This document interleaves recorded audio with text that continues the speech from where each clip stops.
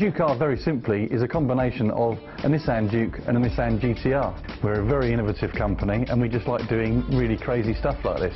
You look at our history, there's many, many examples of Nissan engineers really driving forward the business. Nissan's brief is to create a supercar crossover that packs the performance of the GTR into the Juke platform in just 22 weeks.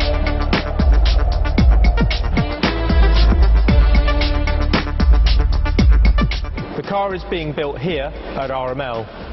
RML are one of the world's leading motorsport specialists and we've been working on uh, innovative and very exciting projects with Nissan for 20 years, including winning the British Touring Car Championship in both 1998 and 99.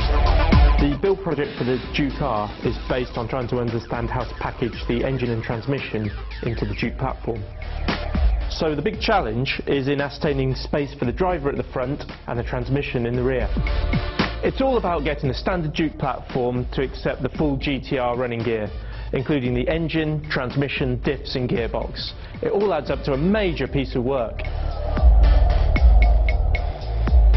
In parallel with this, we'll be looking at the dynamics of the package, working out if the shortened wheelbase of the GTR will work in practice in the Juke.